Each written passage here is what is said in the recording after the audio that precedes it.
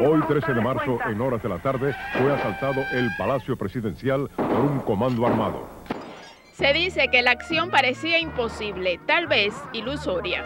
Cuentan que a golpe de coraje, patriotismo y audacia, los jóvenes que protagonizaron el asalto al Palacio Presidencial el 13 de marzo de 1957 irrumpieron en la madriguera del tirano Fulgencio Batista para romper las cadenas que oprimían a la patria.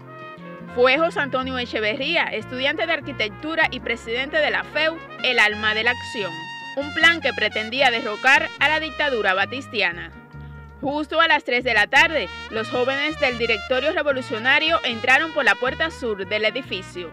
El tiroteo se concentró en la planta baja mientras un grupo llegaba hasta el segundo piso en busca de Batista, quien huyó hacia la azotea. La situación se tornó desigual respecto a los guardias armados y la caída de varios compañeros. La retirada se hizo necesaria. Mientras esto ocurría, José Antonio, a quien le llamaban Manzanita, junto a otros jóvenes, irrumpía en la emisora Radio Reloj para anunciar el ajusticiamiento del tirano y convocar a la insurrección popular. ¡Pueblo de Cuba! En estos momentos acaba de ser ajusticiado revolucionariamente el dictador Fulgencio Batista. En su propia madriguera del Palacio Presidencial, el pueblo de Cuba ha ido a ajustarles cuentas.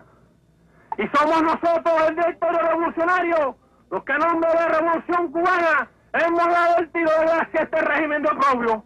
Cubanos que no escuchan, acaba de ser eliminado.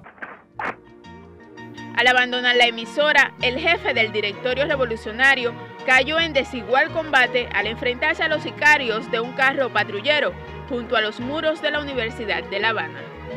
Aquella proeza del 13 de marzo de 1957 no alcanzó el triunfo esperado. Sin embargo, evidenció la fuerza de un ideal común y la manifiesta decisión de vencer a cualquier precio. Desde Gran María Reyes Casate, Sistema Informativo de la Televisión Cubana.